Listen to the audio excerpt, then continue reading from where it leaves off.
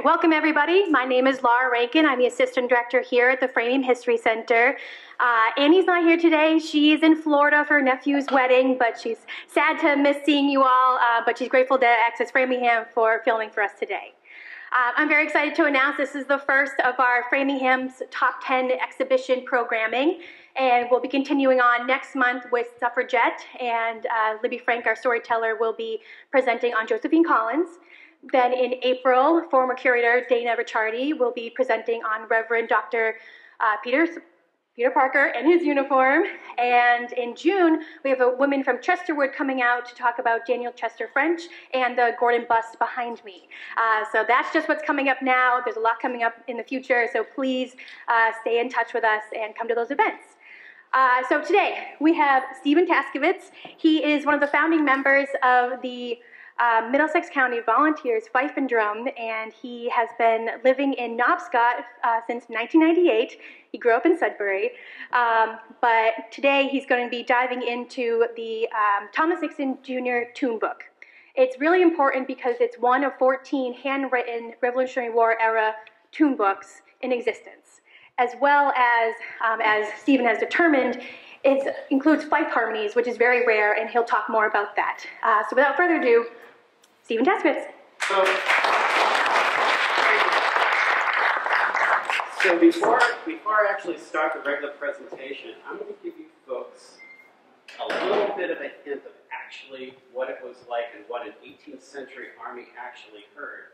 And it actually started first thing in the morning, even before the sun rose, when you heard a drummer in the distance playing some tune to gather everybody together. As you.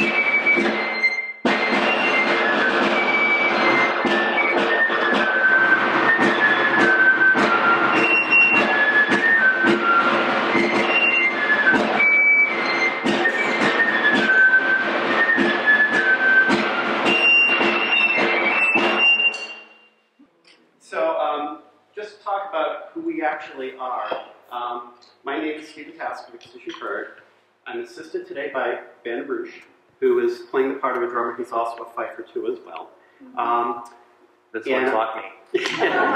Scary, huh? Um, and what we're going to do is we're going to actually try to give you a little bit of taste of what a musician in the 18th century did, and it's it, it's a lot more challenging than you think. And even before I get into the agenda, I'm just going to start on a few things, just so you folks get an idea of how important um, the role of a musician was. So we represent right now how we're dressed as they answer the call on the 19th of April. We are dressed as what they call according to law, which means that we have we have our drum or a fife, we have our weapon, because the swords are all that we- we're allowed to carry. Um, we have a backpack or a knapsack that has your um, enough to take care of a couple of three days worth of bread, blanket, because we don't know how long we're going to be out in the field, and of course a canteen. That has to be a bottle, and it's it's a quart canteen. And bottle in the 18th century actually means quart. I just found out the other day. so I'm going to uncover myself. So music in the 18th century, how important is it? Extremely important. So important that I actually want to start by getting a few quotes that have actually come from members who actually either heard the musicians. Ooh. couple of quotes from the 19th of April. We marched before them with our drums and our fifes a going. Also, the British, we had grand music. We marched down over the North Bridge a little more than half a mile, and then on the hill we could see what was going on. Amos Barrett Concord. We marched by two by twos to the tune of the White Cockade, played by two young fifers, Luther Blanchard of Davis's Acton Company and John Buttrick of Brown's Company. A little later, sudden volley from the British, Luther Branch, Blanchard, fifer from Acton, was slightly wounded. Some people have an idea that the post of a fifer or a drummer is a very easy one. This altogether is an error and found on ignorance. A fifer drummer has to fill the orders issued that he may be detached at any time in 20 different directions in a month, where when upon the marching expedition against the enemy, the musician occupies a more dangerous post than an officer in the detachment, save the commander, and when in line of battle, his position is not to be envied. In a word, the whole duty of a musician is therefore not, not only a laborious one, but the one of the greatest hazard and danger. Washington, great man, loved his music. So in Cambridge, he took over the army, not knowing what he was going to uh, what he was going to find, but he always commented on the music. The drummer and fifers in the regiment in and about Cambridge are to be ordered instantly to attend to the drum and the fife major at the usual hours of instruction. And I'm going to show you why. Okay, so we're going to give you an idea of exactly what it sounded like in Washington came upon his army. Yankee Doodle A and B.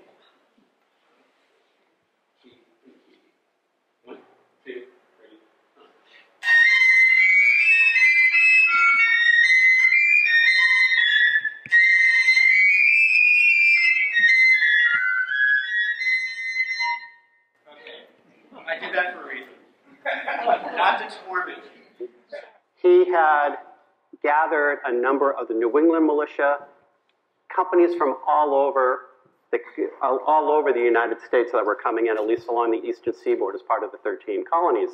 Um, when he came in, there was no regulation to the army whatsoever, and he did not like what he heard, as you just found out.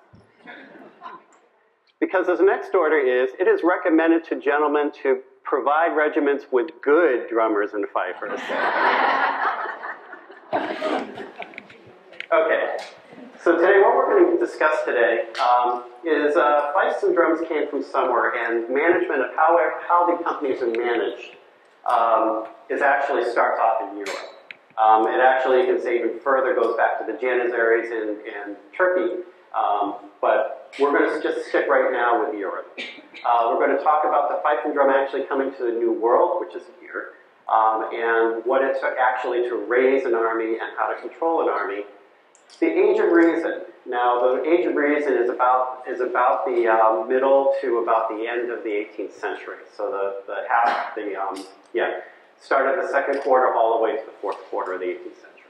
Um, so we begin to reestablish fifes and drums that are actually used for control here in, in actually throughout the whole world, but in particular the United States. So I'm a field musician. What do I do? So you saw just part of it. I'm going to actually talk about really what the role of a fifer drummer was, and it's actually a lot more, as Louise said, a lot more laborious than one would think. Duties of a musician, what do they do? Well, you got a, you got a little bit of a hint of that when we started off, is what the pipers and drummers did was actually, we were the field radio of the 18th century. We started off the day, we told you what to do, what, uh, when to do it, and how to do it. Okay? So that's usually what the, what the role musicians did. And some of the, uh, some of the clues that are in the Nixon manuscript, and actually you could say the Long manuscript, actually give you some clues about how that day actually went go through what a musician's typical day is, and then what do they play? You can see some of the instruments we have here. We have some other examples, but um, pretty simple instruments, but very powerful in what they can do for an army. Um, what did I wear? So we're just part of this. We're going to we represent a militia, but as the as the um, as the war changed and it evolved, so did the dress of musicians, and there was a very good reason for that. And not only is it here in the United States, but it's also worldwide. And so, and I'll show you what the importance of a musician is. So that's the what do I wear. Um, and if you're interested, so you want to reenact, what are the realities and the fantasies about that? Um, as uh, Laura said, I've been doing this for 45 years. I got to the point now that I've been playing longer than some of my newer students' parents have been around. That's when you know that the hair actually matches the color.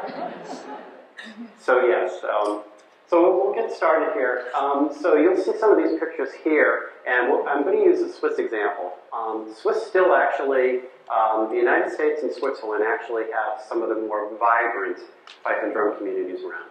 But uh, here gives you an idea of what fifers and drummers look like um, during the during the 1500s, and you can actually see the fifes being played. Notice that they look a little bit different. They're a lot different. Um, Joseph Morneau is standing in the background. Um, is a fife maker, a good friend of mine. I've known him for many years, and he's actually been studying some of this, and actually it makes sense. And maybe that might be um, might be another grist for another talk sometimes.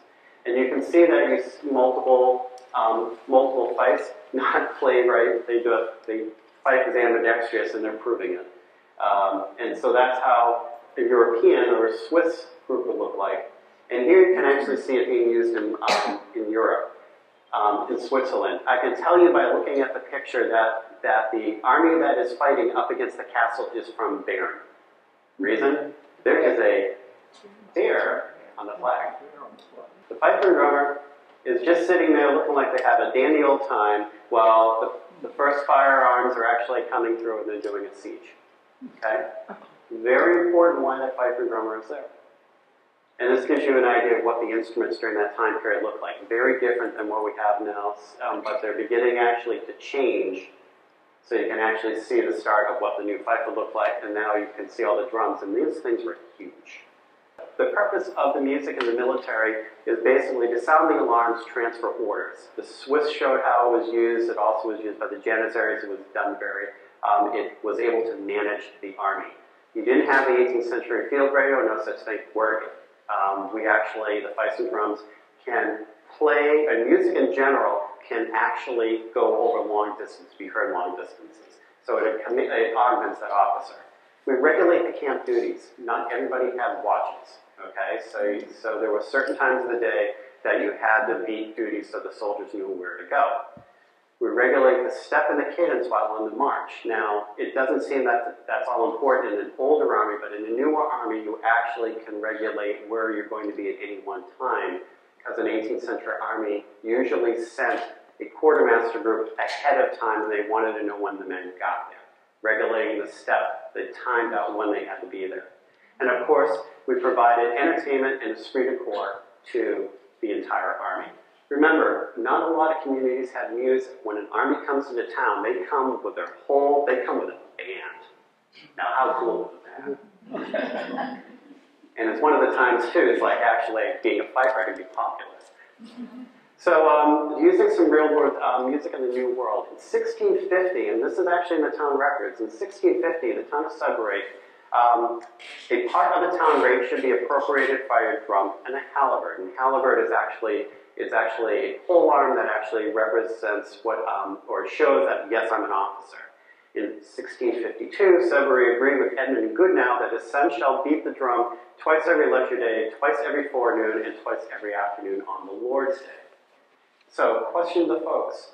If you were to listen nowadays, and I know that there's three in this immediate vicinity, how did most folks actually go and go to church or get alarmed? Church bell. Perfect.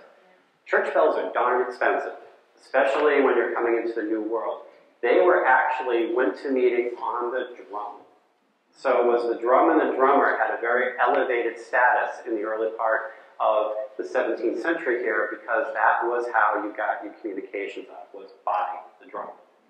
And it's a lot cheaper than that. Um, so in 1660s, um, 1720s, Boston militia includes fife drums and hautbois. So friend, um, an hautbois is a French term for high wood or loud wood, and I wish I brought one with me. It is the evil ancestor of the oboe, and it is a loud, loud, loud piece of um, loud instrument.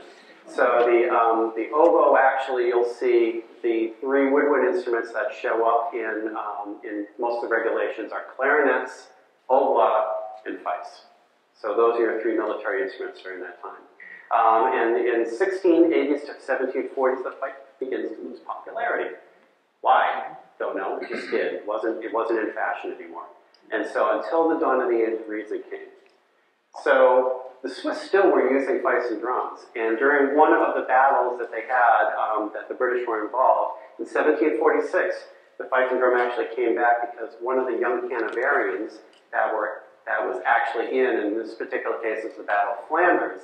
Actually, um, they saw how that army was regulated, and they figured it was a good time to bring it back. But you can see, actually, there is a fifer there is a drummer or fifer back there, and you can barely see him, but he is whoop, he is right here. And you can see that from, and, and you're going to see later on when I go into the uniforms why it's so important. So re-establishing military music. Prussian army makes great use of uh, fifes and drums during the Seven Year War. The Ordinance of 1754 re-establishes the duties and the beatings for the French army, and that again changes and is codified and reduced um, in 1767 where it's streamlined. And the French regimental marches are being issued to the different regiments about that time period from 1680 to 1760. Um, a lot of the other British groups, um, I didn't have references on the British, but they do the same thing. They, they start issuing tunes to the, um, to the musicians during that time period. So British Army school, British music schools begin to instruct fifes and drums starting about the 1740s. Um, and the camp duties again become defined. And you'll see what the reason of that is if you have a known piece of music that you're playing, you know exactly what you have to do. Um, American camp duties are actually based on the English system. Um, and Simes, who is a British officer, says um, in his instruction to officers, and von Steuben's Blue Book, which is the, the, one of the first published military manuals in the United States, it also has all the fifes and drum music. So you're actually looking at why you have a necessity to have fifes and drums in the Army. So who's a typical fifer? Let's get to the fun part. So typical fifer, um, and, and, I have the drummers here, but I didn't include it in this presentation. I apologize for the drummers in the room. Um, and Cuthbertson, who is, a, who is a British officer who describes how to run an army and the economy of an army, he states that the fifer, as their duty is not very laborious, it matters how, not how young they are taken, but when they are strong enough to fill a fife without endangering their constitutions. Filling a fife means they can actually play. As an instructor, I really like to watch my kids when they begin to start fainting a little bit, meaning that they're actually getting it down. Um, and when you get that little bit of hyperventilation, that's how they know that they have to tighten up on their embouchure. So fifers is um, nine or ten could be could be trained as fifers, and you're going to see as we go further on exactly how old these fifers are. Um, me being a fifer, I would not pass muster because I'm way too darn old. I've got other things I should be doing for the Army, and fifing is not one of them. So the, in the Continental Army, the average age of a musician is about 18 and a half years old. And the fifer's average age, as you go further on the road um, in the war, actually drops down to 17 years. Um, so who are they? Again, Tom, um, Cuthbertson recommends that they be orphans or sons to be trained as musicians. There's a reason for that.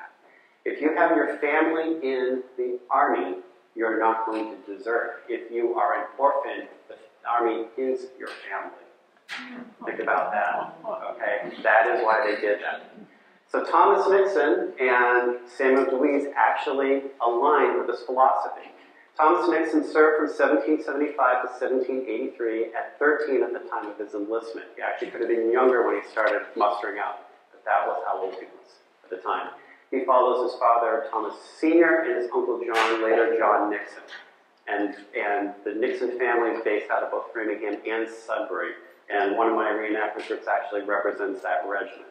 He retires as a sergeant, quartermaster, and captain, becomes a surveyor and a master carpenter. Um, Thomas, as going through everything here, and we have his book of papers here, this is probably one of the most fantastic other than, other than the Fife book, one of the most fantastic manuscripts that you're going to see. There is not, in my mind that I've seen, a correlation between what somebody did in their free time as what they did as part of their job to be a musician. There's songs in here, there's all sorts of other amusements, and he calls it his book of capers. The two together actually give you a very good idea of what somebody in the 18th century actually did. Because as warfare is described, it's described as 95% boredom followed by 5% of abject terror. Um, and that's what an army is in the 18th century. A lot, you have a lot of free time on your hand. A lot of time, too, you're going to be doing fatigue duties. So that gives you an idea of how important these manuscripts are. The Samuel Dewees is another one. I actually have some accounts um, from a diary, and it's going to be fun, I'll have that a little bit later on. He serves from 1775 until 1783 at 15 at his time of his enlistment. He, again, follows his family into the war, but he is orphaned due to disease, which is very common in the 18th century. Think about right now what's going on in China. You get something like that going on, we'll take a whole regiment out by the knees. Um, and, and disease was very common. One of the most common duties that is actually in the book are the funeral marches and different versions of funeral marches. Again, probably because they had to do them so many times. Um, he was, um, later he becomes a leather worker and a cordwainer, serves during the War of 1812 as Vice captain. The reason why I like him is that um, um, not only does he have his, his diary that he talks about who he is, but also he has to be a captain. Nobody can play fife, so he slings his musket and plays fife. I do that all the time, and it's similar to what we do nowadays. Um, again, who, um, getting, moving on, um, I, I, grew up in, my family actually settled Sudbury, so I'm going to use the Sudbury references. Aaron Hayes, who I found is actually one of my ancestors, um, he's a drummer in Captain Hayes' company, and he's, he's 16 at the time of his enlistment. Nathan Hayes, his brother, spelled wrong, same person, um, fifer, Captain Hayes' company, 12 at the time of his enlistment. Caleb Brown, fifer, Captain Nixon's company. And John Trask, another drummer. Nathan Bent, fifer. Samuel Smith, fifer, Captain Russell's company. And Joseph Cutter, also known as Cutler. And that family is still around, and they reenact too as well. Settled Sudbury, not in 1775, it turns into a drum major. So this is one what they have what they call a muster record, um, the muster roll. And you can see here, this is Nixon's company. And actually, this is important, especially for this manuscript, because Thomas goes to fight with his uncle in the 5th and 6th Regiment. So he's already getting to know the fifer and drummer. Now you can see up here, they put all the officers and all the management of the regiment up top. Notice where the fifer is. Fifers and drummers are right up with the staff level. So this shows their importance. So we use a Framingham example. Simon, Simon Edgell's company in Framingham also marched on the day. So you can see there's a lot of men there. This is a big company. And two little fifers and drummers in their teens are managing about 30 to 50 men and keeping them on the march and telling them what to do during the day. Very important. So the duties of musicians, they sound alarms, transfer orders, as you, as you heard and saw. They regulate the camp duties through music, so you'll see later on there are certain duties that are associated with different tasks, regulate step and cadence, provide entertainment, esprit de corps, carry out punishment to the regiment. Mm. Remember those cat of nine tails that they talk about in the 18th century? Guess who carries them? The drum major. Oh. And he is supposed to lay on that punishment. And if he doesn't lay it on, he gets hit by his vice major. So not a very good, not a very good place to be in. So always be kind to your drummers and um, they also um, occasionally act as aides and valets to officers. So a lot of these young folks here, and you'll see it um, in a lot of manuscripts, you're actually going to see them learning how to be an officer. In the back of most of these manuscripts, including the capers here, there he's learning how to do his ciphers, which is his, he's learning how to do arithmetic, and he's writing out things. In this book here, I could swear he's actually writing love letters for an officer because they're in there. They're phenomenal. So he's actually acting as that aide by writing out something for somebody maybe who couldn't write, or because he thought it was pretty cool to do something for somebody. And he kept a copy. God only knows what he used that for.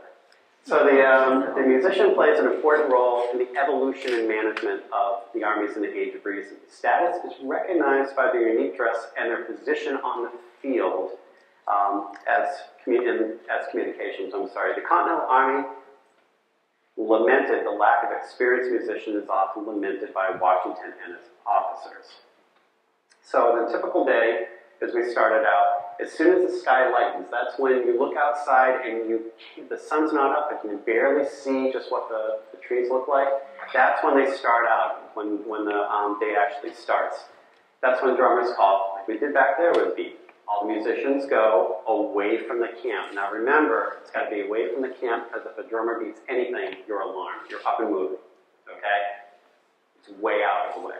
Um, at daybreak, they come back and the reveille starts. After the roll, you report to the adjutant's tent and you get your jobs.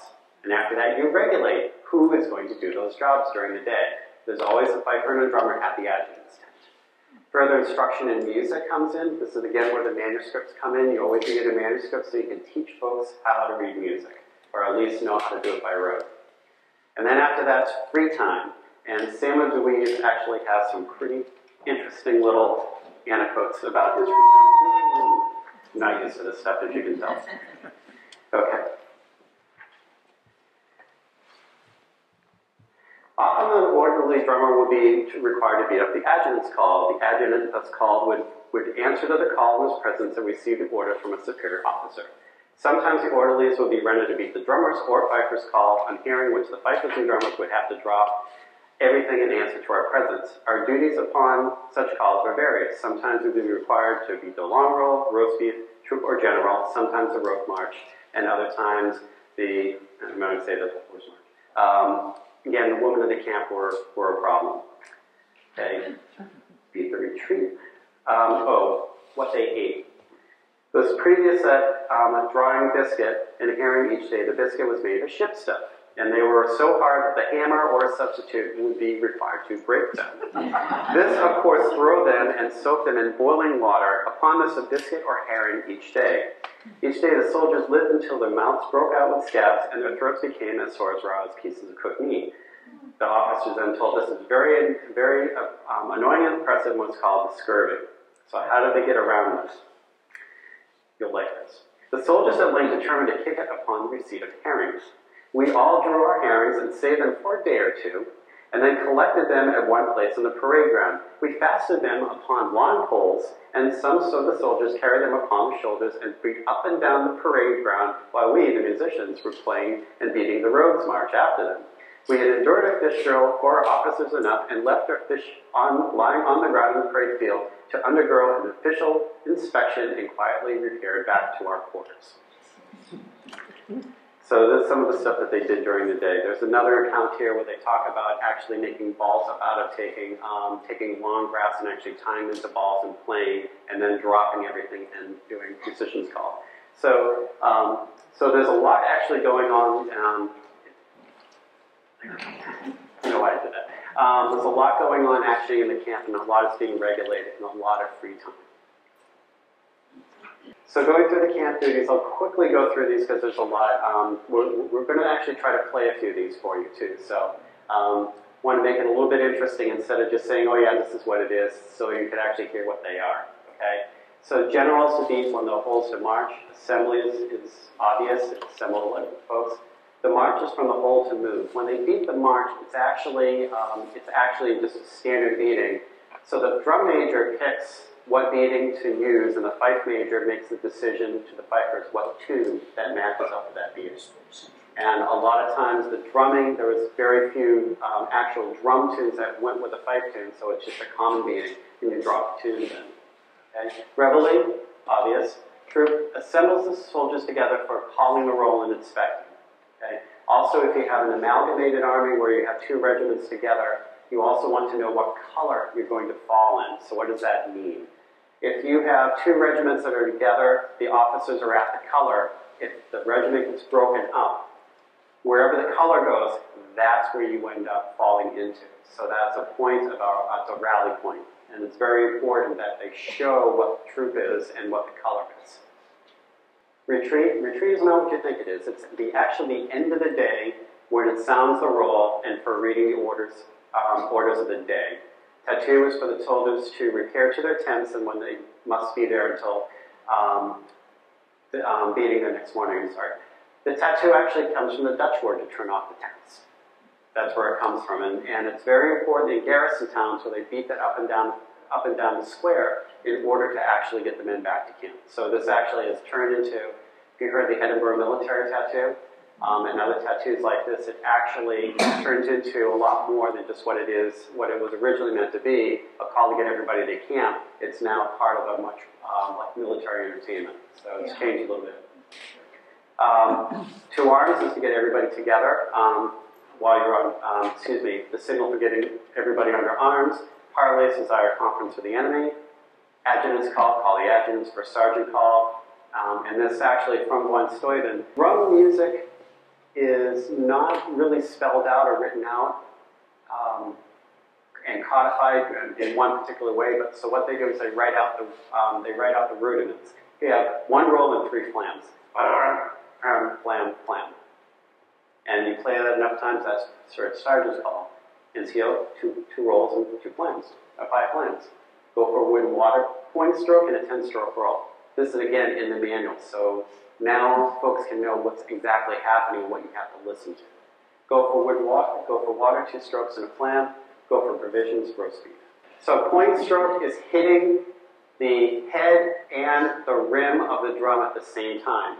When you hit it there, the drum goes point, literally. So you hear the ring. So it's a little bit different than just a regular, just a regular tap. So when you hit it strong enough, that's the point stroke. And a flam, a flam is a, a, a small tap and a large tap. Ba bum, ba dum, ba dum. So I'm glad I brought a drummer today. so flam. That's a flam.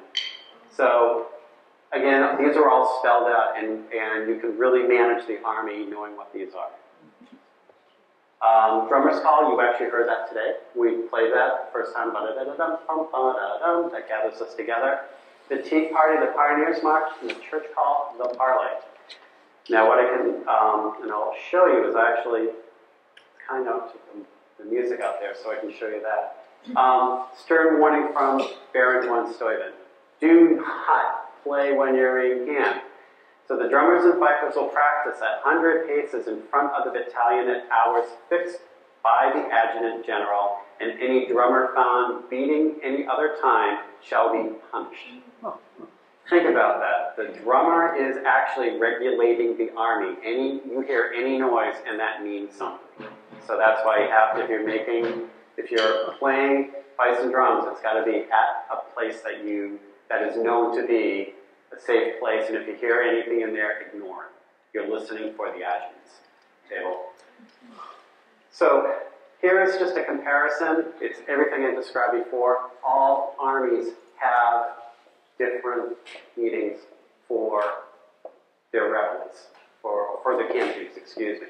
And in the front there, I actually have some from the French Army. It's another, um, just a little bit about reenactors. We do more than just one interpretation. Um, our early war impression here in New England is militia. Our late war impression is usually some established army. Um, my group, our established um, impression happens to be French. Um, so I have those there for you. So later on, when we get through, I can, you folks are more than welcome to take a look at the stuff that we have here for you. But what we'll do, see if this works. That is the assembly. Um, so this is from uh, this is from Nixon, and it is a number of different manuals. Okay, so play that this for you.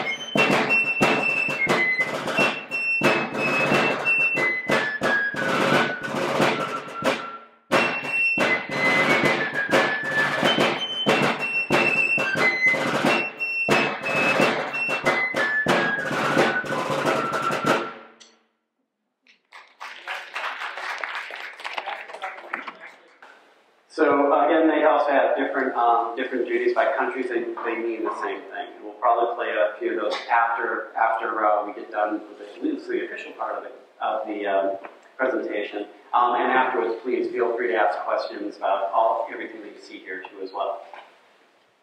So field positions of musicians. Remember what Samuel Dewees said. When upon the march and the expedition against the enemy, the musician occupies a more dangerous post than any officer or detachment, say the commander, and when the line of battle his position is not to be envied. I need some volunteers. okay, and, and the reason why I need volunteers is going to pose a question to you folks. Where do you think fifers and drummers actually are in the field? Any, any ideas? In front? In the front? Okay, that's, that's a good one. Okay, In the back, so people aren't fighting here. okay, that's a good one. I need um, probably about three or four volunteers if they want to stand up, um, and we'll see if we can go over here. And I'll show you why. Do I have any volunteers? You guys, come on up. Joe, come on up. I have to hold this chair. Oh, you have to hold the chair? Oh, okay.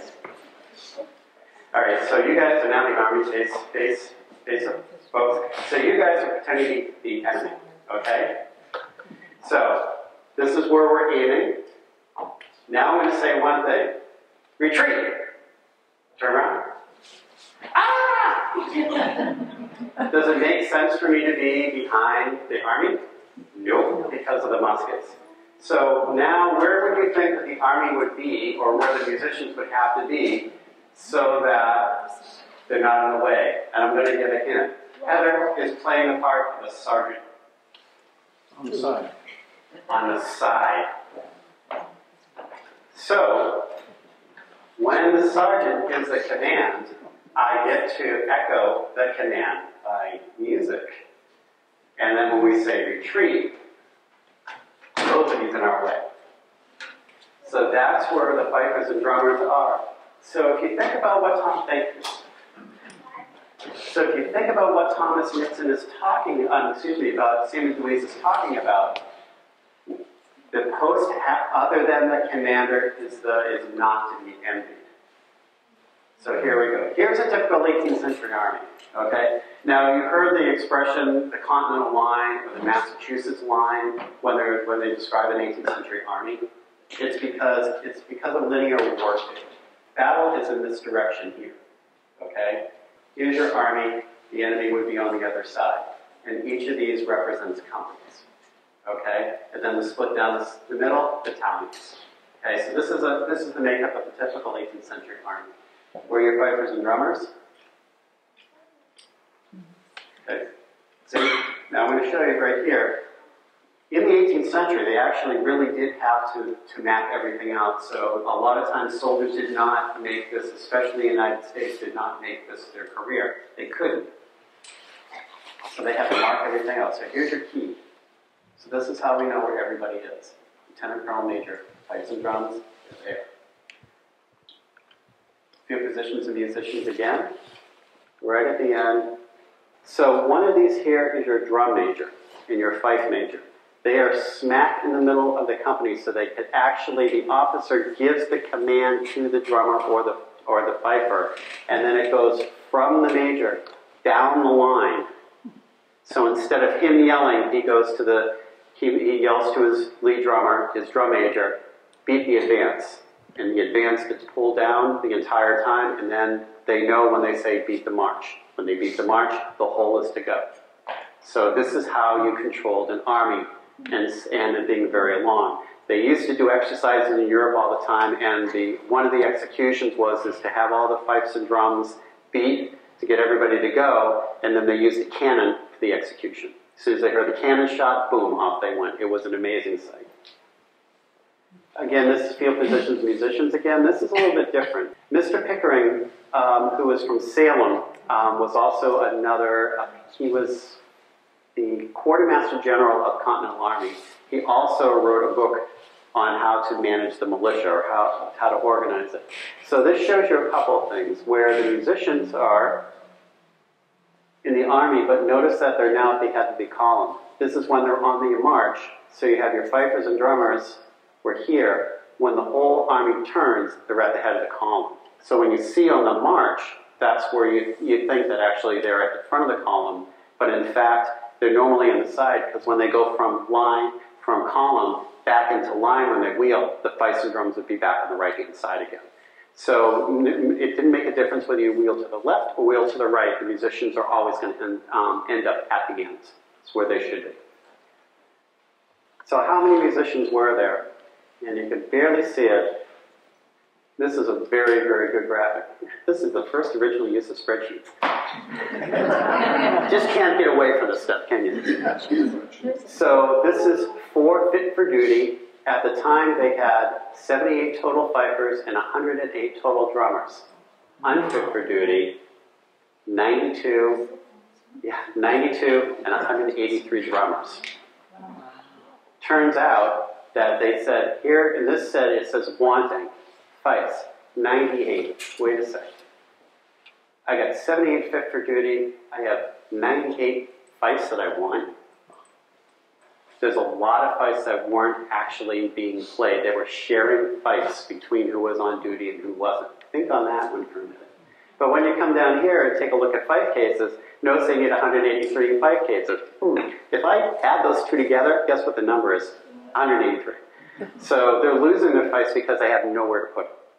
So they're, um, and if you see what I'm wearing here is a fife case that keeps everything all together.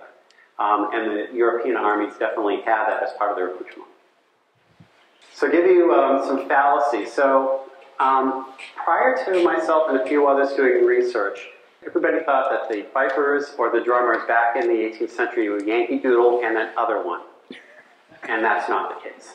Um, Thomas Nixon's book has um, well over 144 pages and a lot of tunes in there. I don't know the exact number, but a significant amount, and harmonies. It's quite complex, as you heard, and um, and I'm going to actually defend myself a little bit. I've been playing for so long that each of those tunes has about five or six different versions of it. So Ben and I are trying to figure out which version to play back here, um, and and that's for a reason. There's a, a, even though the same tune name, there's slight variations with it. Um, the fifers did not play strictly in unison. Um, they actually played harmony. Thomas Nixon's fife book has a number of um, number of tunes in it that actually has harmonies, and I just was looking at another manuscript. Um, I think it is um, Nathaniel Brown's manuscript from the Fourth Connecticut Regiment, and he has seconds and harmonies in there too. But the only way you can have harmonies is if you have two or more fifers. And as you heard from the demonstration, those fifes got to be two. All right, so they're getting the supply. So, so the, the fifers and drummers becoming better. Drummers play the common beatings. Um, fife pick, the fife major pick the tunes that you're supposed to play to match with those beatings. Um, and you found out just a moment ago, fifes and drums did not fall in the back. They were on the side with the officers doing command and control. That was their main job. Fifes and drums did not play all the time during battle. So I hear this a lot of times in reenacting. There is something called the preparative. Um, Ben's going to be what the preparative is. And I can call out the orders. So this is this is a this is a second model Brown Bess musket, and yes, I do this too. Um, this is uh, this is the main weapon for the British Army and the most desirable weapon that somebody in the colonies would want. Um, not until the Charleville muskets started coming in is when they started actually to issue French muskets. But there were a significant amount of French muskets here because of all the prior wars we had. So there's a lot of these muskets around. So I am, I am going to magically, magically this musket is loaded. So I hear the preparative for the to fire. Make ready. Present.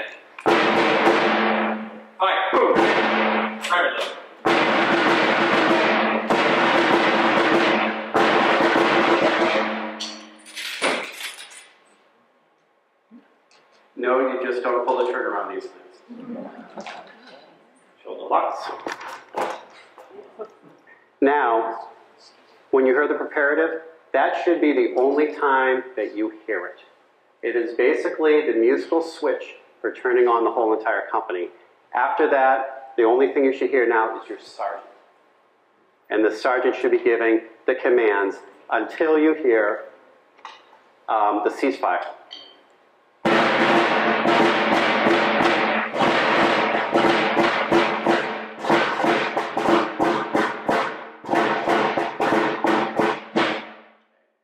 And that also is the first part of the church call. Everybody's got to go to church, so everybody knows church call. So, um, so they're just playing the first four, I think it's the four measures, right? First four measures of church call as your ceasefire. So, biggest fallacy, you don't play prepared preparative every single time in the battle. It just makes things very confusing, and that's what they did back in the 18th century too, as well.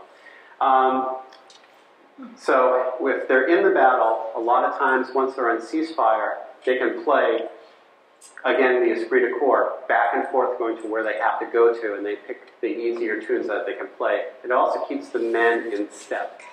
Looking at a huge army in step is a boost to morale to the company that's there. It also scares the Jesus out of the guys on the other side. It means that you're a regular army. So when they say regulars, you heard the regulars are out. the regulars are out. That means they're part of the regular army. These are trained soldiers. Um, and then I said the joke, I'm prepared to play, not after every single ball. So typical fifes and drums. So what Ben and I are playing are actually um, their, their actual reproductions of these type of fifes. We've been playing today the Cahusac, the calendar. Somebody who used to be in the Sudbury company as a actually came up to me and said, I have this fife, so I took pictures of it. I said, geez, it looks old. And then we found out about it, I said, oh yeah, it's old and it's of the period. That's why I included it in here. So these are actually in a different, um, these here are actually the C. This one actually was in fact B flat was what you hear nowadays. So you probably have heard that um, as we play the fife, it's a not in tune with itself as it goes up and down. Okay? Not, I'll demonstrate. So scale.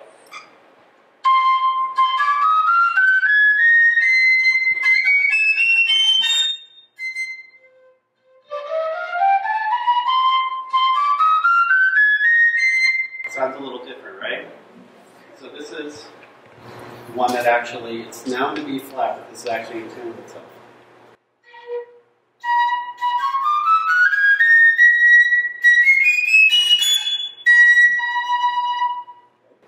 And then you go a little bit further to the modern instruments.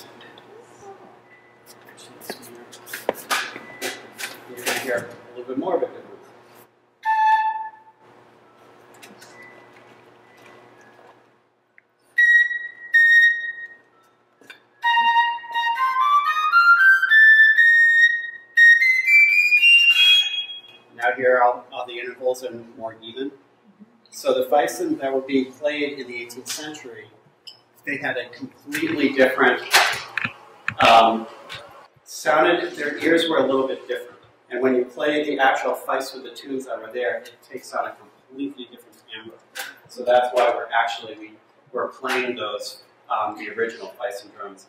Oh, one other one. And this is a this is another one just to show you just a more modern pipe. And the same just like the other one I just played.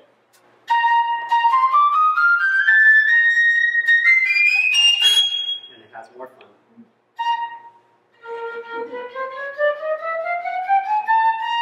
That's what the intervals are. Yeah. you can do the same thing with the with the other fifes, but it takes um, it's regular fingerings that go with them. And it turns out that the um, each of the fife manuals have what they call a gamut or gamut or fingering chart. The fifes that are actually in these keys, actually the fingerings match up the gamut very well. So, who were making these fifes? There's two Turners in Boston in 1768. And also, they're, they're making fifes here locally. We don't know where. There's a number of unmarked fifes that are out there. But there are num- most of your major cities actually had wood turners that can make fifes. Um, I don't know about drum makers. They came a little bit later on. Um, but yes, they were making drums here in the United States too as well. I'm not that much of an expert on that.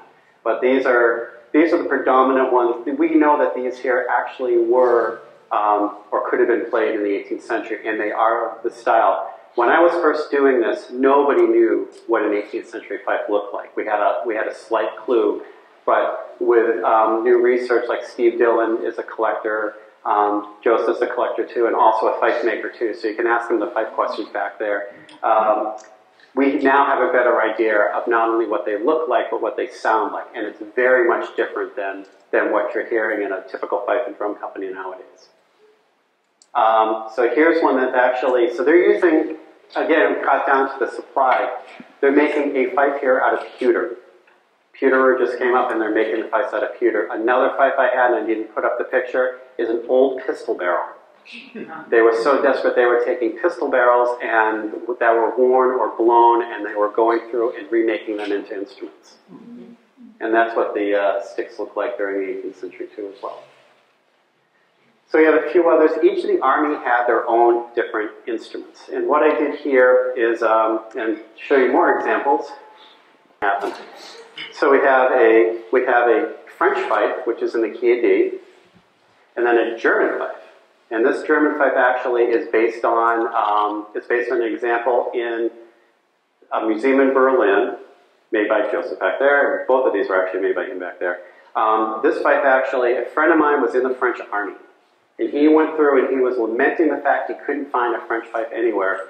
And he went to his former commanding officer, and uh, he says, oh, and as Luke is lamenting, he's reaching in the back and he pulls out, you mean one of these? So we actually had one. And this is going to sound a little bit different. So this has harmony. So this gives you an idea. This is an alternative. You just play um, just the first one. One, two, three.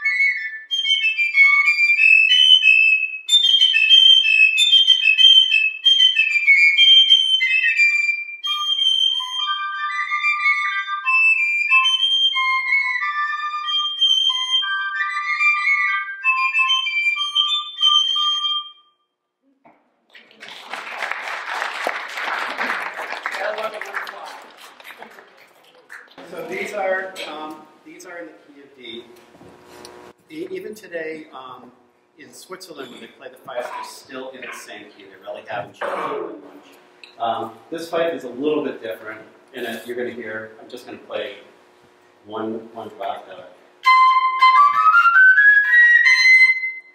So it's about where the E getting to the B. It sounds really weird.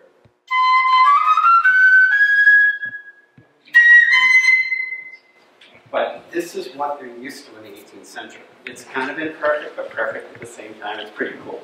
You get fifers together that really know what they're doing. As long as the fifes are pitched together, it sounds pretty darn good. Okay? So we'll continue on. So I'm just going to quickly go through these. Um, as we started to make fifes in the United States, they started actually um, going and I would say they were codifying or standardizing, I would say, on B flat and that was both in, in, the- in the United Kingdom as well as in the United States. And now are being made in quantities, and I only went up to the 19th century because after that things really get, get strange.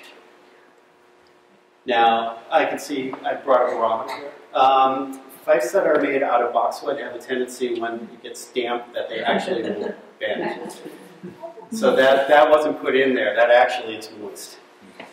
so the fife a better barometer these are, um, again, you can see that what, what we have out here, even if it's the 19th century, it still looks the same. They're still making the same type of fifes. It's not until the 20th century where things really, and the late 19th century, things get strange. And then German and Swiss fifes. Some of these actually, we took pictures in the Basel Museum, which is actually fantastic. And they have a number of these fifes there. And the French fifes, different than this little guy here, they started to play around with a few other keys, inventing, and this became, as Joseph was saying, the standard French fife up until today. Drums. Anybody know? Anybody know who plays this drum? Probably one of the more famous drums here in the United States. is William Diamond's drum. I pull this trick on the William Diamond and drums all the time. I said, guys, you know who play that drum? Said, it's your namesake. These are these are European drums. Um, the Basel Museum has a fantastic collection of, of drums, and you can see the same type of uh, the same type of style, rope tension with the ears, and then they, and a lot of times a strainer that was added after. And the snare drum um, is actually a relatively new invention to the 18th century. About the time of the Seven Years' War, a lot of drums were not played with strainers; they would sound like tom toms. Then they started to put the, um, those two pieces of catgut across the bottom, and it really picked up the uh, timbre of the instrument and also the um, distance for which the drum could be heard. Again, some more Basel drums. I'm using this as an example because they have such a great collection and, the, and they're not broken up. They're very well maintained. So typical dress of a musician in the 18th century, um, as the importance of signalers. Now, now since you saw, and, and hopefully made it um, known how important musicians are, you need to find them on the field. It's very important that you find the uniform of the uh, musicians on the field. The, what, so they, what, what they ended up doing is they actually went and changed the colors on the uniforms slightly. So you can know that they're the same type, that they are in fact a musician and not a soldier. Okay? So the, the three types of uniform changes I've seen, um, and you see this all the time in the 18th century armies, and it's only three practices. One is reversing the colors of the uniform. What does that mean? Well, in the 18th century, you have, for at least for the uh, soldiers, you had one coat which has had a body color, and let's say it's blue for the Americans. Then a facing color would be a little bit different. So in New England, we had white facings on our coats from 1779 on to the end of the war. That changed to a red facing. What they did is they made musicians in red coats with blue facings, same army, but you could actually find them because they're a little bit different. So if the officer needed to find the musician, they're looking for the person in the red coat or the white coat or something different from the army. Um, fixed colors for musicians. This is practiced by the French and the German armies, and I have an example here. Um, one of the coats up front here, and I'll have a better picture. French army were in white, all the musicians were in blue. And the other one is, um, additional uniform lace. They just would put additional lace on there, and that would identify the musician as different from the regular army. So German British warrants, basically, I'm not going to go into this too much, but it basically talked about reverse colors unless, unless the, um, the, the regiment had buff facings where then the musicians were in red small clothes. Yeah, imagine washing that. That was, was pretty nasty. Um, and the fifers and drummers had caps. Not this. This is a this is a um, militarily cocked hat or a civilian hat um, made in the same way. Caps are just basically a cap, and they had a different headgear, so you could actually see them too as well, being a little bit different. So this is what you what you have. So you have the so this is a butt face uniform. He's using he's got red breeches on. The rest of the drummers there, this, this is the 10th Regiment, which is local to this area. They just wore the reverse colors. And they have just the standard white breeches. Caps are these grenadier bonnets. With the Americans, they basically had a, um, a felt cap. It was basically a cut down, bad, bad tricorn bad military cocked hat, and they repurposed it by turning it into caps. Early war American troops, dressed like Ben and I are right now, which is basically, basically your militia. But in this particular case, I have all my 9 and 10 year old drummers are actually behind the line. So they're getting ready before, they, uh, before we pull them out. So they're doing inspection. We have them in the rear during inspection. We pull them to the side as soon as we get into battle.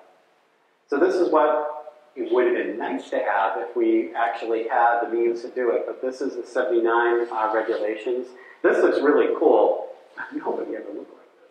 Um, the supply was so terrible in the 18th century that they could get what they they could get what they could get. But in this particular case here, there was a couple of regiments that were actually able to um, meet the regulations. In 79 also, and here's a, here's a, good example of showing the reverse colors is that the body of the coat for the soldiers is buff because New, New York and New Jersey were given buff facings. The, the um, musician is actually in the reverse color, and there's that cap we're talking about. And other commonly uniforms, so basically, here's reverse red facings. In the summertime, they wore a hunting frock. You couldn't really tell the difference during the summertime because it's just economy. The wool coats are very heavy. Having the hunting frock, everybody's wearing the same thing. And the Marines also, they wore, um, they were also green-coated white-face regiments, and they also wore the same coat as the, um, the drummers wore the same coat as their um, infantry. I'm going to put that in. That's my and drum company with band.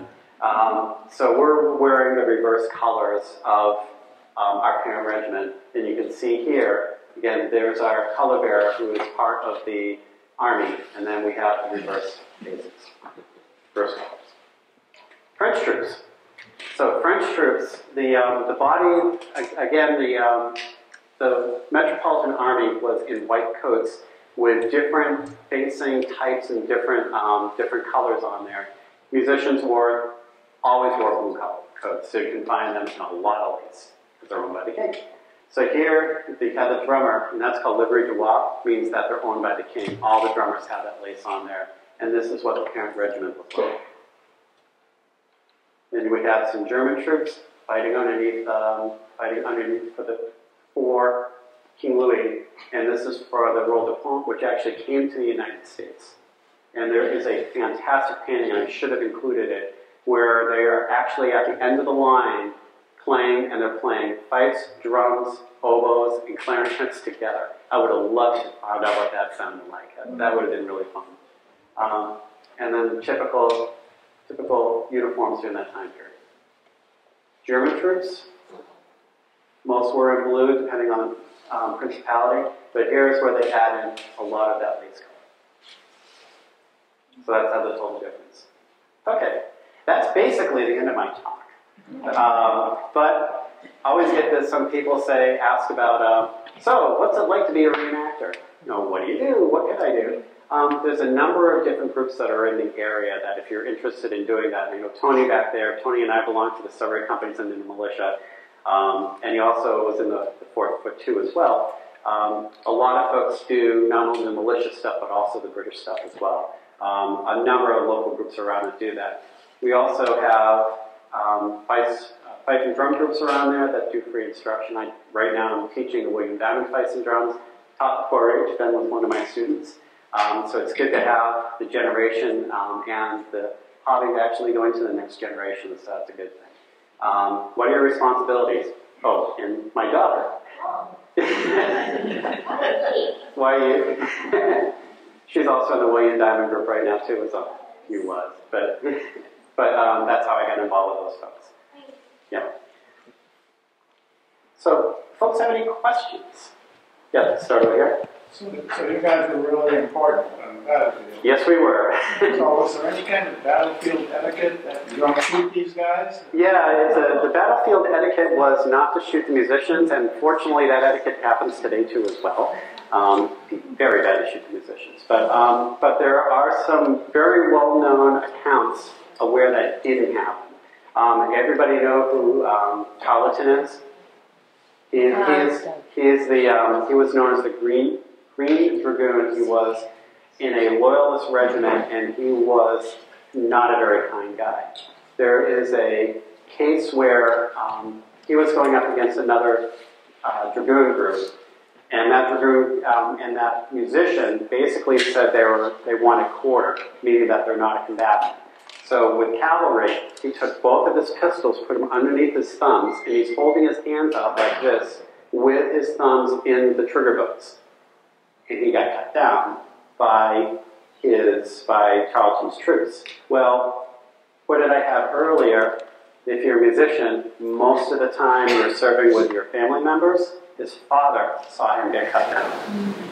So, of course, the battle did not go Tarleton's way, and they had a number of um, a number of prisoners left behind. And they, in, in, what they said, we afforded them the same courtesy as they afforded my son or afforded our musician. So yeah, not very kindly done, but yes, it, it did happen, but not so often. I'll go. I'll build on that a little bit. In Thomas's Thomas Nixon's fife book, there um, he served during um, Saratoga. Actually, the musicians got together because it's known that there's about more than just the two hands between um, between Joshua or Jonathan Long and Thomas Nixon. There's actually hands in there from what we think is a British fife major. So they actually were going back and meeting with them, and they were they were sharing music. Good. Any other questions? Yes, sir.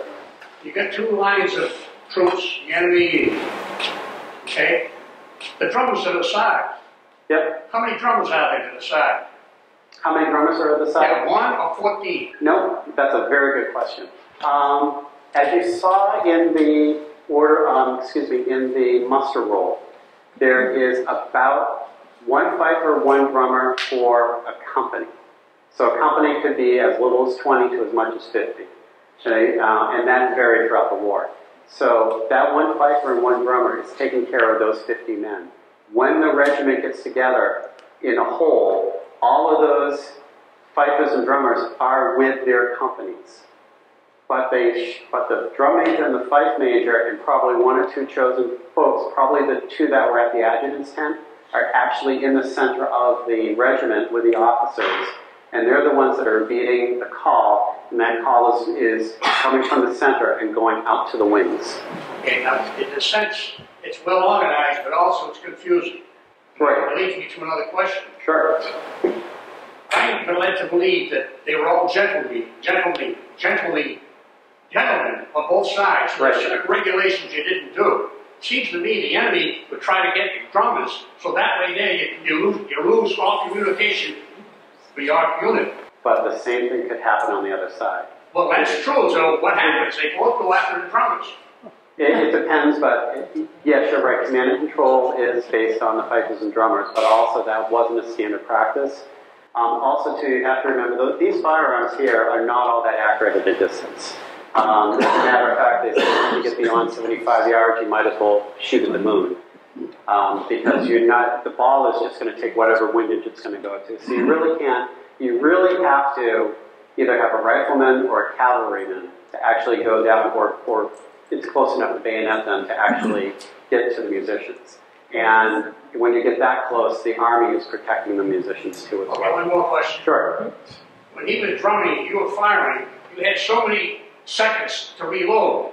hmm What happens? Did you actually pour, rip it off and pour? You did. What happens if it's kind of a damp day? Your SOL.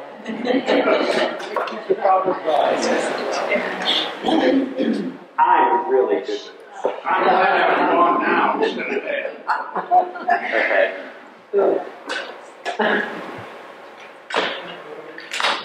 Wow. Get the point? Um, so this, so the bayonet actually was used for that reason. You have to remember too, in the 18th century warfare, prior to the muskets coming onto the field, we had pikemen. If you ever gone down to um, Plymouth Plantation, when they go through the when they go through the drill military drills, what makes up the bulk of the Minutemen or the militia that were at Plymouth Plantation? Pikemen. So, and then they have the muskets, which are matchlock muskets, and, and actually it was the pikemen that protected the men. So when they when muskets became more prevalent, they started off turning the musketeers into, um, or the pikemen into musketeers, but they also knew the limitations of a black powder weapon that they had to put something on the end of the musket. So what started off is they said, well, we'll just pick this little knife. The little knife made a bayon, which they call the bayonet, um, stuck that right at the end, but then you can't actually use the musket until the socket bayonet came. Now with the socket bayonet, it goes over the barrel, and then this way you can load and fire. Now we do something we call experimental archaeology. Now if you pulled out this rammer, you would think, oh, the easiest way to do it is this way. Look what happens. Yeah. So you go there and it's thump, thump, thump, and it goes in. So it clears the, socket bayonet, And the drill that had to come with it evolved so that you could use the musket with the socket. So if you lose, you lose that rod, you're out of, out of business. Well, not particularly. Um, the balls in the 18th century are very, very small. And so literally, um, you could do what they call a Swedish tamp, which is you load the musket, take the ball, put it on top, ram the musket on the ground. Most of the time, it'll hit the ground. It'll go down to the bottom because the ball is a lot smaller than the board. So that's because I wanted to put accuracy wasn't the game with these muskets. It was how much lead was in the air that they cut everybody did. So, okay. One more. I'll give you one more, but we got other folks here. You turn around and load it up. You pull the satchel out and you rip it. What if you don't have any teeth? You, What if you don't have any if teeth? you're in militia, you had to have two matching teeth. Yeah, because because carrying it on. Okay, as, yes, you could probably load with it. You could probably load with, um, as they did in the 18th century. If you're not in a battle situation, you could load by the you can load by the horn. But all armies in the 18th century had cartridges in cartridge boxes. So you could you could take your one or two shots prior to the whole regiment, and it was particularly with the militia. I'm talking more the militia now. The army, all they had was cartridges.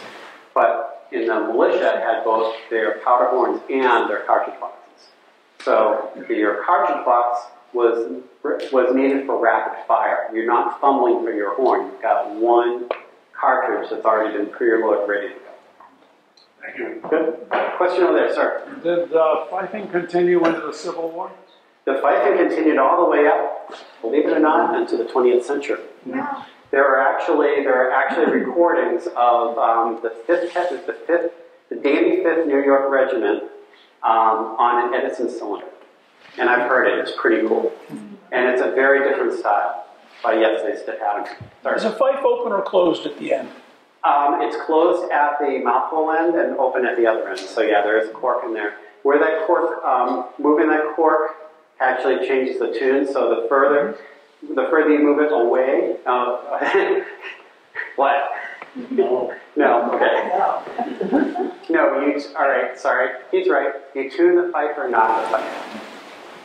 You tune the Once, fife. a fife is a fixed tuned instrument, it doesn't typically have a tuning cycle of the 20th century. Mm-hmm. So once you plug the tone holes into the side, you can't move that cork. If you do, everything else has to move with it, and you physically cannot move those tone holes. They're already drilled into the thing. Mm-hmm. So if you move the cork, you tune the time or your, your basic note, and everything else goes wonky.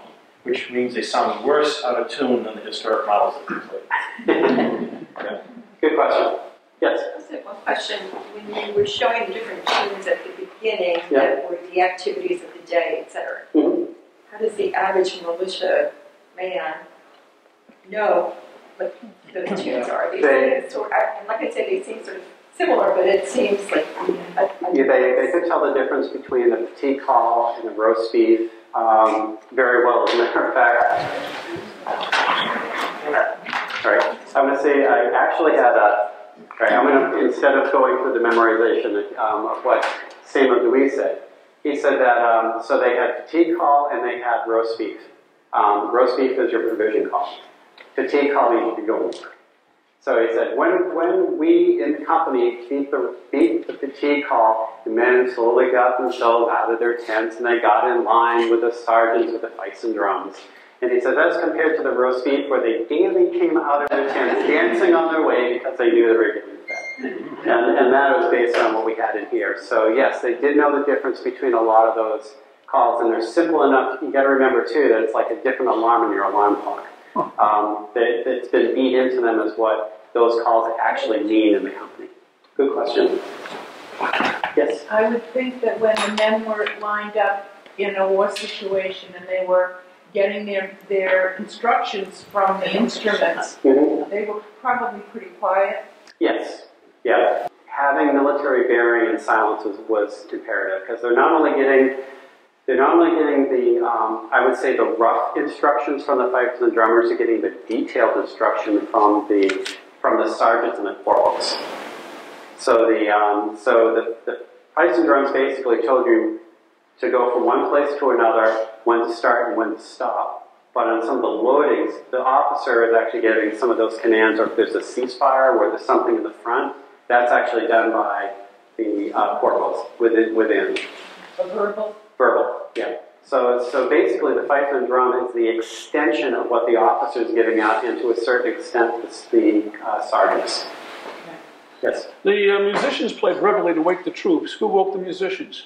That's a good question. The musicians. Um, in an 18th century army, there was always an adjutant, um, there was always a fife and drummer at the adjutant's tent. So they were the ones that took care of not the whole fife and drum company, a fifer and a drummer posted with the adjutant. And when it got to a certain point, then that's when the um, you would hear the beating for musicians call. So who woke him? He was, it's 24 7. So you have one person that is, that is going around the clock. There's always a fifer or a drummer in that adjutant's tent. He's either sleeping, but he's there. Somebody comes by, wakes the adjutant, wakes the drummer, he's the one that gets the alarms, quote unquote, alarms the camp. So that's what they're doing. And also there are, there's always pickets that are out there um, with, a, with the company. With the French army, um, and I've got a great picture of it, in the French army, they, they show this great picture of what a tent looks like. And believe it or not, seven, between six to eight men slept in those tents. Now, not crosswise, but stacked up by like logs. So if the tent pole's going this way, the men are lined up this way. The two men at the end are actually fully clothed. And they have one guy that's sleeping because he's going to get woken up later on that night by somebody in that tent group who wants to go back to bed again. So they always have two men that are fully dressed, ready to go, and this is at least in the European Army. I would, um, and I'm trying to find more information in the American Army, and I have no doubt it's the same way, because they also had pass calls too. So if you're going back and forth, what's the password? They did that a lot, and they, and they still even do that today. Not so much with radios, but they, they kept doing that in the 18th century. And you needed to know what the password was. Yeah. Any other questions? Anything you want. The only, my only rule is that the only silly question is the one that never gets asked. And if you have any questions afterwards, just let me know. Oh yeah, one. Yes. In the 18th century, were most of the flags instruments? That's a good question. Um, and well, you heard the demonstration that we had up front there. So those are typically what they had. There was some fifes that were in D, there were some fifes that were in C, and some fifes that were in B. Typically for the 18th century, right, probably uh, going into the 19th century, the most common instrument was in the pitch in the key of C or the key of D, or somewhere in between. Um, it, it varied, but um, eventually in the, in the middle part of the, I would say the first quarter going to the half of the 19th century is when they started codifying the keys. Yeah, good question. Good question. Anything else? Well, thank you, folks. I appreciate your time.